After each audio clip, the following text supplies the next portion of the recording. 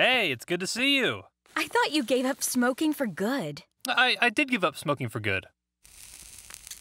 Now I smoke for evil.